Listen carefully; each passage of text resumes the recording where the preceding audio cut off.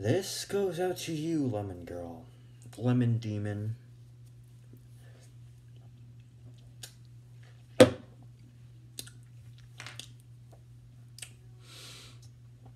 Your mom is gay. Your mom gay.